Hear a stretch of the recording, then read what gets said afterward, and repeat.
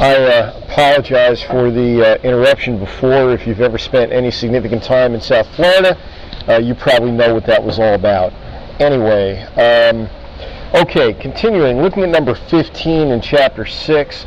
Uh, why do cumulus clouds often have flat tops? This I mentioned, I believe, earlier in uh, chapter 5 discussion, but I decided I'd include a great photograph of a cumulonimbus cloud. And you can see here the vertical development. Now, when we talk about vertical development, the base of this cloud might be about 2,000 feet above the ground. The top of the cloud, where the anvil is, that might be 55, 60, 65,000 feet above the ground. That is the top of the troposphere. That is the tropopause.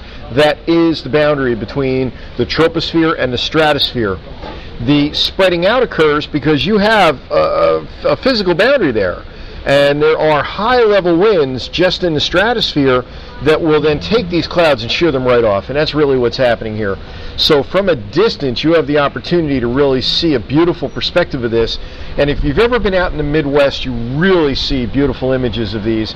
And the people in the midwest know that what's going on at the ground under one of those could be some very severe weather including tornadoes hail straight line winds, uh, winds that will exceed hurricane force if only over a very, very narrow area. Um, so that's that's probably a good uh, overview of 15, 16, uh, 19, rain shadow.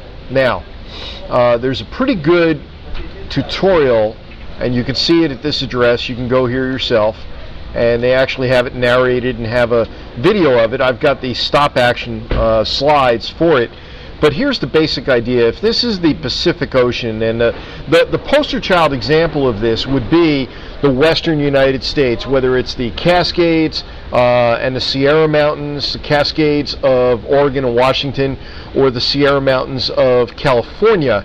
Uh, those are the major mountain ranges that are just a little bit inland away from the coast.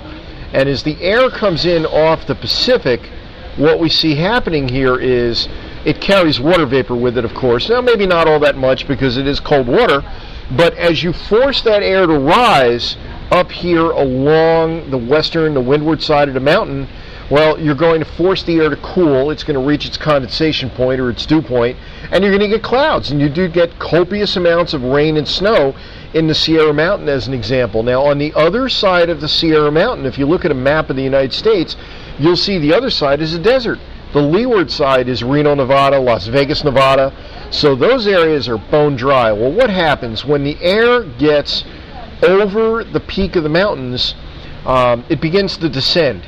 As it descends, uh, one thing I'll disagree with question six is the dew point. I don't see any reason why the dew point would go up, but the relative humidity will come down. Why? Because as the air descends, it warms. And in fact, it warms what we call adiabatically, which means on this side, if it's 70 degrees Fahrenheit, after rising and sinking, it might be 90 on the other side. So not only is it drier because the moisture, if you will, has been wrung out of it, like right, wringing out a sponge on the western side, but on this side, because it descended as dry air, it tends to warm faster, which means an equivalent altitude on the east side might be 20 degrees warmer than an equivalent altitude on the west side. And this is the time of year where you can begin to see that. So if you go to a map of, uh, in fact, let me do that. Let me just uh, call it up um, on Google. We'll go to WW 2010, which is the uh, atmosphere site that I happen to like that has some good stuff. I think I'd recommended this to you before. And if I go to current weather,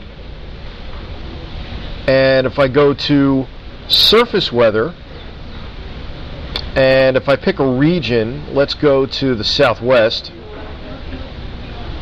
Now you're looking at a uh, station report map here, but we can extract the information fairly easily. I see here the temperature to the uh, it's the upper left of any circle, 67 degrees, and this is probably Santa Barbara, 69 in San Francisco, and if I go to the east of the mountains, I've got an 87 degrees here. Um, I've got 75 over here. It looks like 75 in Vegas. Um, not exactly the greatest temperature contrast in the world, but there's some. I mean, 62 in, in uh, Los Angeles and 75 over in Vegas. So 13 degrees warmer. when you get up and over and you've got that adiabatic warming. So with that, that should do it for chapter 6, and then uh, you'll see me with chapter 7 soon enough. Take care.